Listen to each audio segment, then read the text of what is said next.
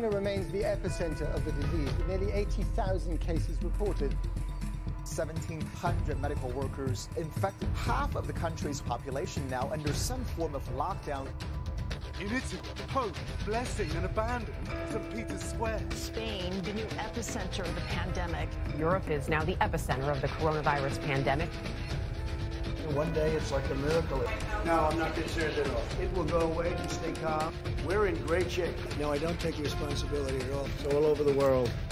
This is a real, this is a pandemic. We are seeing the epicenter of the coronavirus outbreak shift to the United States.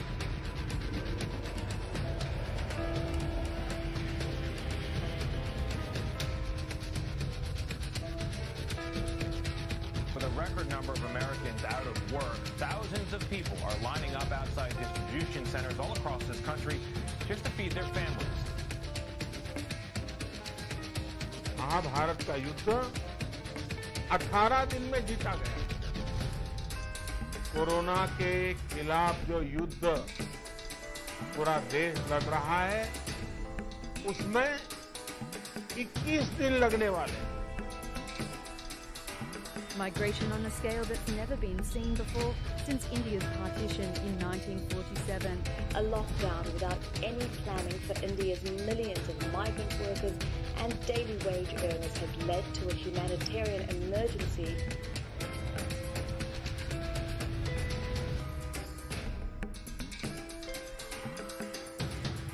Brazil, the health service is ill prepared. In truth, it's already overwhelmed. They can't fight this virus. They're digging thousands upon thousands of graves. Brazil's President Jair Bolsonaro is still dismissing this pandemic as a light flu, but it's irrelevant what he thinks anyway. They're dying here in huge numbers, and it's nowhere near the peak.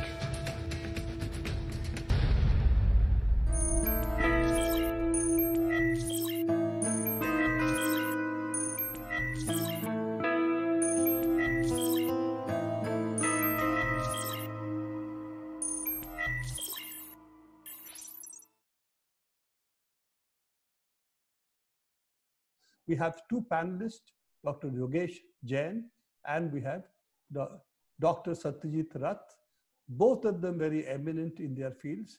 Yogesh did his medicine from All India Institute of Medical Sciences, and then he's been working in a economically backward region in a district, a rural health setting, working on public health, and also the founder of the Janasa Swasthya Sahyog, a hospital dedicated for caring for the poor and the excluded or the disadvantaged.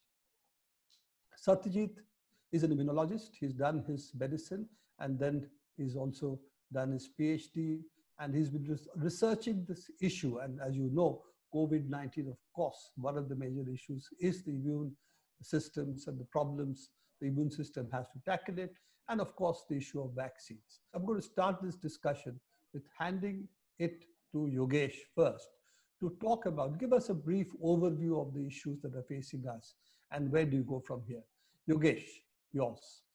Uh, thanks, Prabir. Uh, as uh, from the vantage point that I am in uh, in uh, rural central India, I would like to unpack uh, the signs of of COVID-19 as we see before we start discussing about about its consequences on on the society.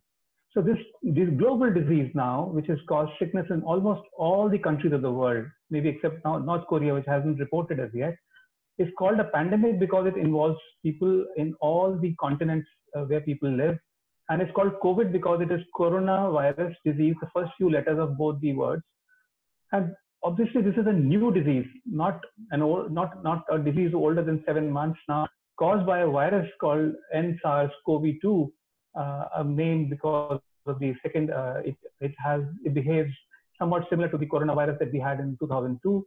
And it was first observed in the first, in the last days of 2019, therefore it is called COVID-19, even though it, the major consequences it is doing is in 2020 and maybe 2021. It is, it has caused havoc in terms of human lives, illness and deaths that we saw in the video also, truly also in the economy, in the social structures and other human processes.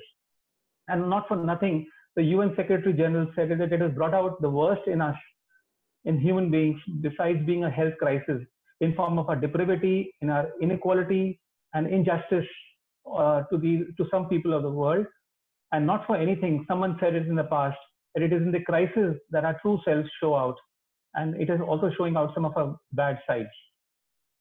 If you look at the numbers that we see the, about the problem, the burden of the problem, uh, over 16 million in a planet of 7,000 million. That's about 0.2% of people who are already diagnosed as disease in the first uh, uh, seven months of the of the uh, pandemic, with about 650,000 deaths.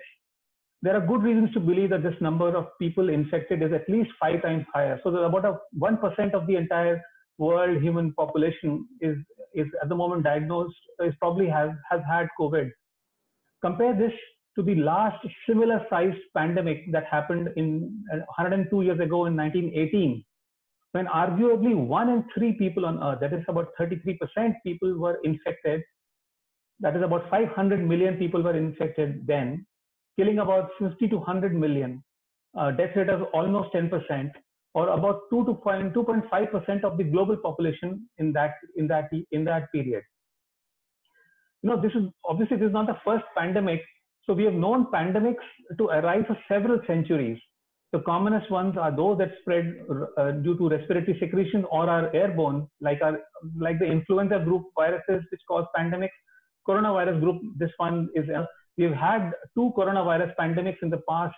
In 2003, which was called SARS, and in 2009 when we had Middle Eastern respiratory syndrome called MERS, uh, which also caused much uh, much damage to people.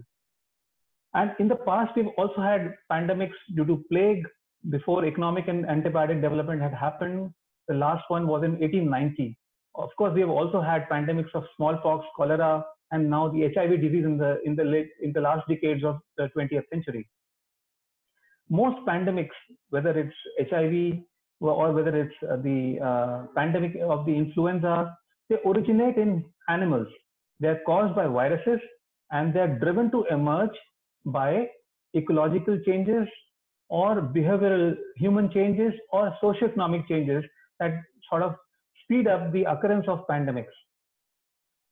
But there is a, there are some. Let's look at what are the special things about this particular coronavirus and the disease COVID-19 that it causes. That, that explains its remarkable success in reaching all the continents.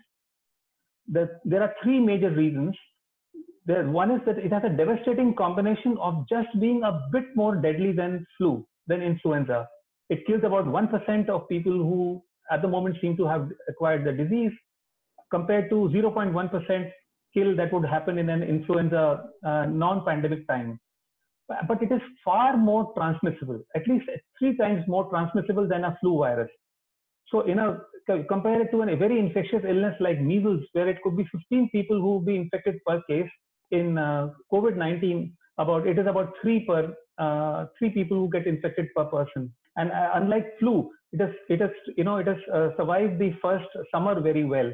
And we I don't know how many more summers are going to be there.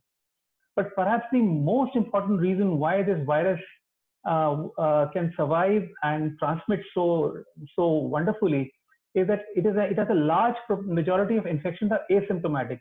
Some argue that it's over 80 percent and these asymptomatic people can infect others, unlike in flu, unlike in SARS that happened. And since it is an uphill task identifying asymptomatic but who are infected people, infection control becomes difficult as the predominant mode of transmission is via droplets. Um, and you know, the, now there is some evidence that is coming up that it is probably through aerosols, that is, those smaller droplets, smaller drops, which can last in the air for much longer times, uh, can also cause, cause infection. So humankind, uh, let's face it, has not had a more uh, than just a mildly deadly bug like uh, coronavirus 2, which is also very transmissible and can infect when the index person is not displaying any symptoms, thus making the, the control extremely difficult. Drugs and vaccines take a long time for uh, evolving, uh, for, for, particularly for viral illnesses. In HIV disease, it took less than 10 years before uh, uh, the first drugs came in. A vaccine 40 years later is also not even on the on the horizon. Compared to this, in COVID-2, COVID-19, we already may have a vaccine in a record time of a year, as uh, there is already the phase, uh, clinical phase of uh, one and two are already being done, simply because of the intellectual and financial inputs into its development, because the global north has been affected by the disease. Brazil or uh, you know other sub-Saharan African countries will have access to the vaccine after it has been manufactured, because most of the vaccine manufacture may, may happen in poorer countries like India. But uh, whether all Indians who deserve it get the vaccine, whether it becomes really a public good in the in the world, we don't know.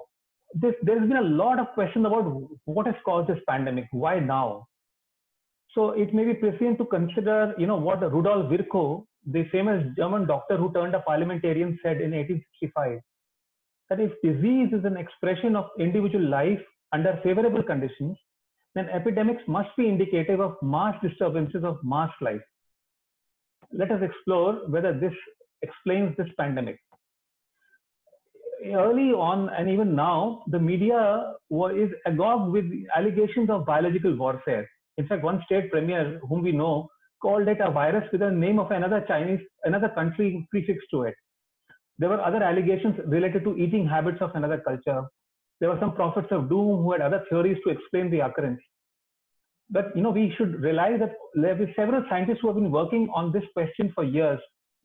And it seems one thing that they had already been saying for long years that it is not whether if the whether the next pandemic would happen or not, but when was the question and what would be its impact and we were therefore caught unawares and you know because we always don't like to prepare and thus this pandemic happened so forces that may have worked at uh, may have worked to cause this pandemic include environmental degradation the climate change that has uh, that has you know hastened in the last uh, two decades the mass scale of movements of humans into new areas and of birds and animals from you know after deforestation and after the need for land for human beings and other animals has been has happened. And those of uh, you know movement of one species into a new territory and also increase inequity and injustice. As we know that you know uh, 26 individuals own as much as 50% of the wealth of the of the human beings. Uh, 26 in individuals. Man has affected the animal and microbial world in many ways and that effect is increasing. Even though since it has it, it started about 10000 years when when man started practicing uh, uh, settled agriculture and domesticating animals but there's been a larger prolonged interaction between man and animals uh, in the in the uh, which has increased over these last uh, you know uh, 10000 years. In fact the illness called influenza came into humans due to interaction between man domestic water birds as well as poultry. Coronavirus also similarly infects mammals including humans and avian species. So the other changes that have happened in the Anthropocene era that we are living in is an increase in mobility. So in COVID times, as we can call it now, this has taken this has taken breathtaking mobility. So people, animals, and microbes can now reach from one place to in, to any other place in the on the globe in less than 24 hours. So I would say that this search for the possibility of COVID being a biological warfare is neither likely nor is it a useful direction to pursue. The typical signatures of genetic manipulation are just not there.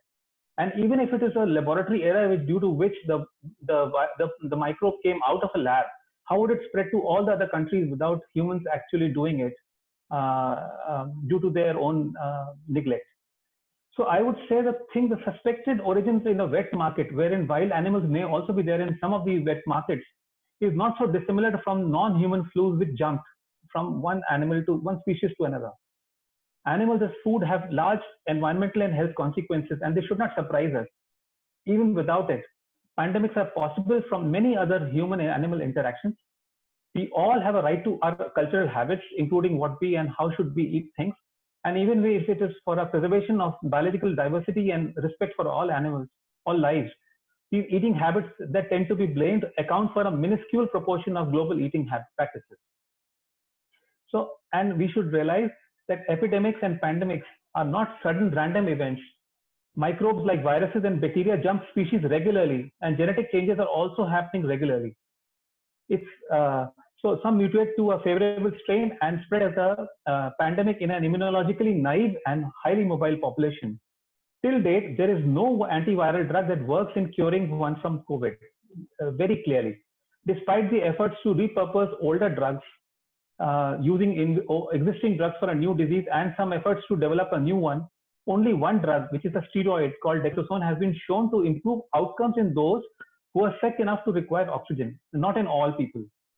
And besides this, there is another drug called remdesivir has been shown to reduce ICU stay in some people who are moderately sick. But as of now, the drug remains highly expensive and is impossible to be used, uh, you know, on an equitable basis for all the people who need it. All other drugs, and there's a long list of this, biologicals like uh, biologicals like hydroxychloroquine, lopinavir, ritonavir, tocilizumab, favipiravir, interferon, ivermectin, and convalescent plasma have not been shown to be effective in preventing the transmission or curing the disease. At the same time, immune boosting or even COVID, uh, you know, uh, uh, COVID elimination strategies from pure alchemy, anti-science, and non-science have, uh, have happened like consumption of methanol to homeopathy to one Indian system of medicine called Ayurveda doing the rounds. Now, these have been proven to be of any survival value. And we also we are finding proof that these, these medicines are not useful also. So um, the, another drug that needs that works well is oxygen. 15% of people with COVID may turn sick and they may require oxygen. And if they are short of oxygen, then when they require it because of lung involvement, this the people might uh, might worsen. So I think oxygen would be one drug that we should ensure that it should be there. Uh, three uh, percent of all people and 20% uh, of those who require oxygen might require ventilation uh, respiration and ventilators has hogged the limelight in terms of the technology that should be inserted. And I, we know that it doesn't, the outcomes in those people who require ventilation are, may have 10 to 20% of those surviving. So for value for money would be to spend in giving, getting oxygen for people. The other two things that have seemed to have worked is high flow oxygen, which also is expensive, but also nursing people lying on their belly rather than, you know, lying there, lying supine or lying on their backs has been shown to work. So lying on belly is supposed to improve oxygen delivery to the lungs, and therefore it may be better for better in a way. So the other thing that might work is to prevent people who are uh, you know over 60 years old and those who have uh, various illnesses like diabetes, hyper heart disease, and all. It is important to check when they get COVID for you know signs of breathlessness or, or, or falling levels in oxygen to be able to uh, act in time. In preventive strategies, I would say that uh, the, we have we had a sudden increase in the lexicon of this year.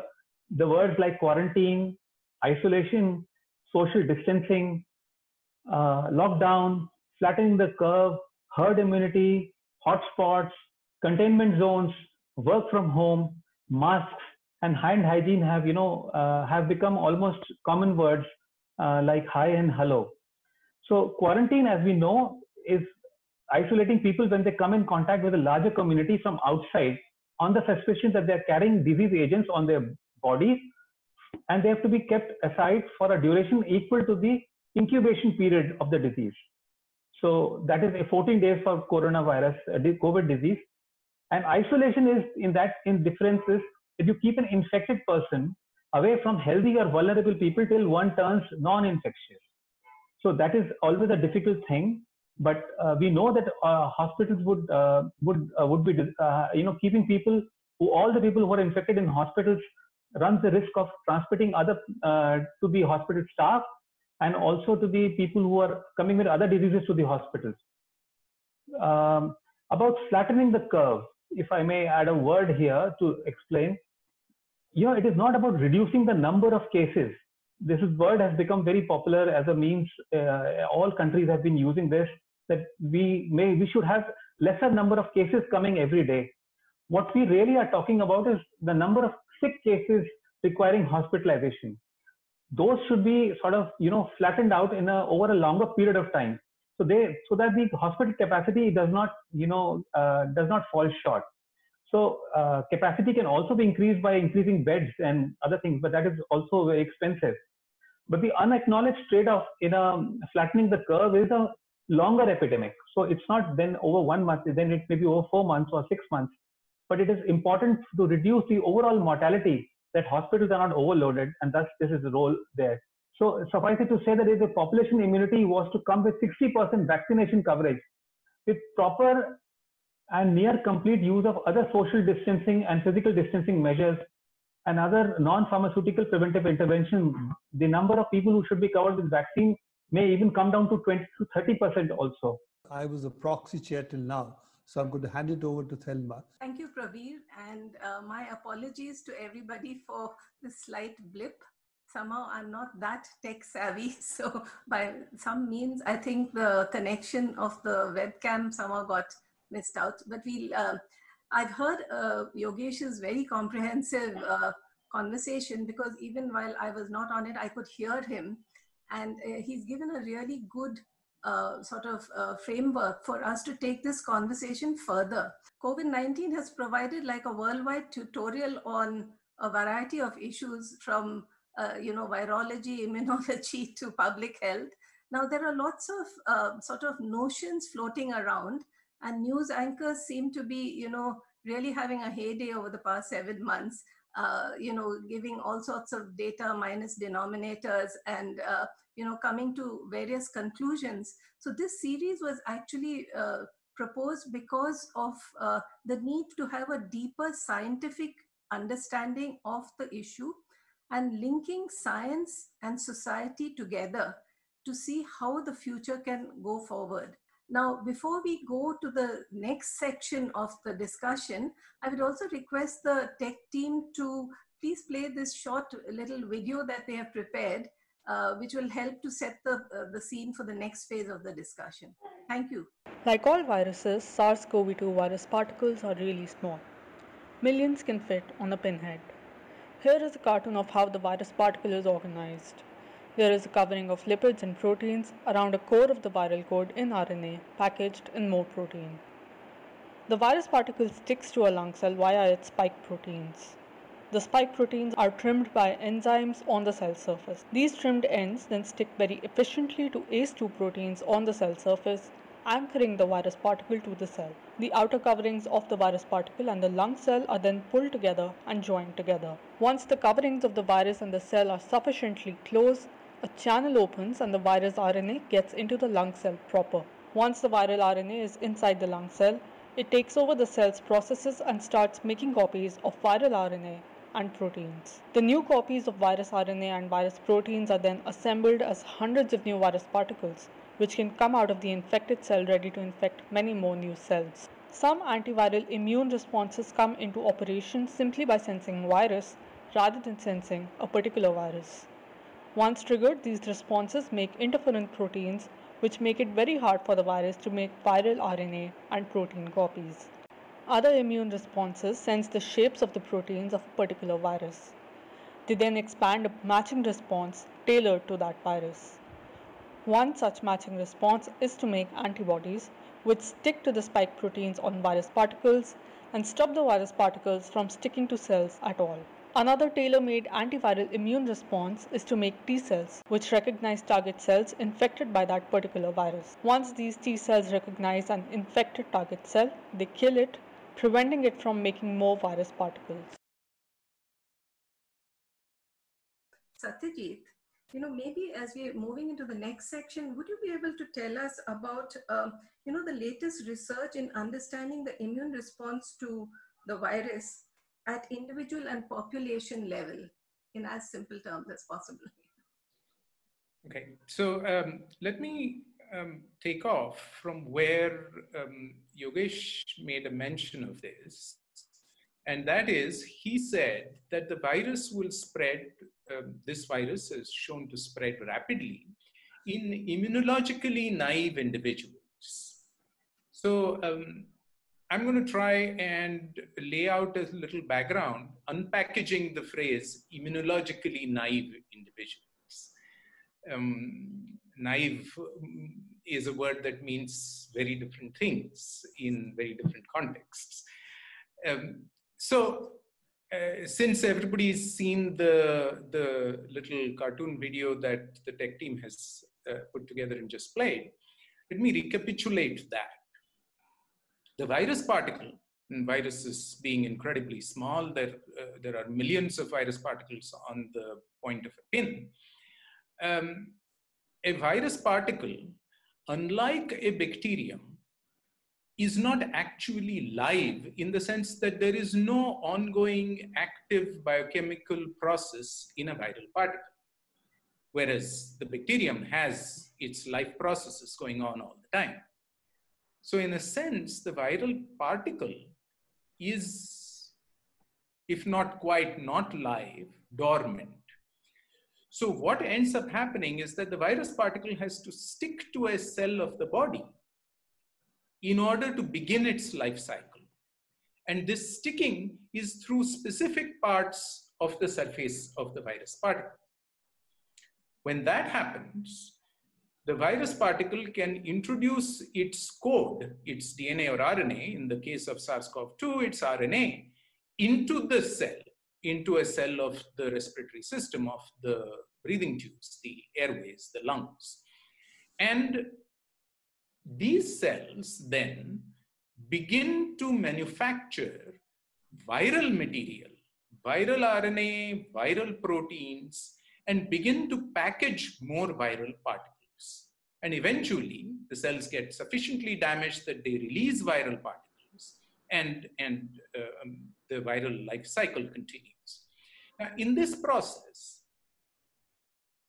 there is a basic distinction between bacterial infections and viral infections that it's useful to remember. And uh, I'm going to connect this again to something that Yogesh said about antiviral drugs. Bacteria grow, viruses grow, but bacteria grow, one bacterium divides into two, each of the two divides into two each, so one to two, two to four, four to eight, eight to 16. Viruses, as I just described, will grow from one particle to hundreds, and from those hundreds to tens of thousands. So the trajectory of growth of virus numbers can be much steeper than the trajectory of growth of bacteria. And uh, this basic difference in their, um, shall we say, lifestyles is central to the point that Yogesh made about antiviral drugs even very effective antiviral drugs in some specific viruses, such as the herpes viruses, in a clinical setting, don't work as spectacularly well to relieve severe illness as antibiotics work for bacterial infections. While, while the virus is growing, what is the body doing? So, the first thing that the body does is it's not going to do one thing. A whole number of different and sometimes interdependent, but sometimes quite independent body processes are triggered or activated by viral infection. Some of them are useful, some of them are actually not useful, as we will come to eventually. The first one that will come into operation is as a result of sensing the presence of a virus, not this particular virus, but any virus. And it's that process that initiates the earliest body response to stop viral um, increase in viral numbers. And that is making interferons in the body. These interferons make cells of the body resistant to uh, viral takeovers, and therefore the growth of the virus is repressed.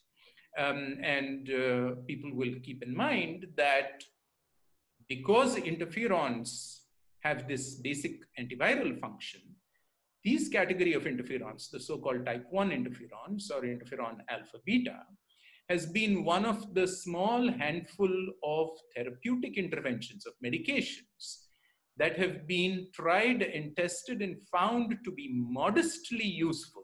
Yogesh made the point, and I reiterate, no therapeutic intervention, no medication has been found to be spectacularly useful. But certainly, interferons like dexamethasone have been found to be modestly useful. This, however, the interferon response is simply a response to any virus. On the other hand, there is a whole set of bodily responses which specifically recognize shapes of this particular virus and will respond to it. So that the response will recognize only this virus and no other virus, or more correctly, similar viruses and not completely different viruses. One of those responses will make antibodies. So, how do antibodies work to prevent infection? As we said, viral particles come and stick to cells. And this happens through a particular virus cell interaction. If an antibody that the body makes, which is a protein molecule, covers that part of the virus particle which is going to stick to the cell, then the virus particle cannot stick to the cell and it cannot start its life cycle. And that is the simplest model by which the immune response prevents viral infection.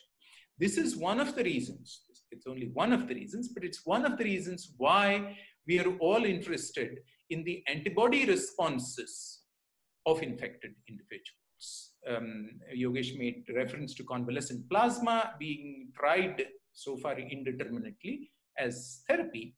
And um, the background to that, technically, is that people who have infection will have generated antibodies, and these antibodies will lead to such stoppage of viral infection. In addition to this, there are um, other cells that can kill infected, virus infected cells. Um, the trouble with that is we, we're not quite sure how to measure them in large scale, and we are not quite sure what precise role they play in viral infection. So there's a lot that we don't know about the immunology of COVID 19. We are going to have a second, uh, on August 8th, we'll have a second discussion series. We'll announce the panel for that. But the idea is also to frame the larger question the interaction between animal kingdom, human beings, and infectious diseases. How do you really see it? And also look at then what should be the policies. How do we look at it in that terms? So yes, I do want this series to look at science as well, because if we don't, then what we tend to see is not non-science simply, but also nonsense. And therefore, it's important that we also put or take the opportunity of such pandemics, bad as they are, disasters as they are for a lot of people, but also to foreground how we should look at nature, how we should look at ourselves, how we should look at, at all these issues scientifically. With that, I'm going to thank again everybody, and that's all we have. And we hope that you will also join in on August 8th at the same time for our next panel discussion.